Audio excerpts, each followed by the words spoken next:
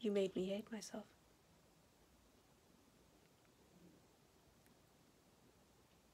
Mr. Martin, I've thought a lot about it. Hating myself. And right now, at this moment,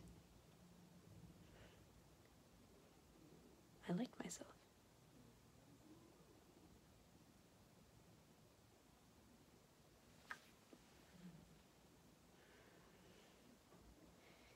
You killed Socrates. he was the only friend I ever had. Okay, that's it.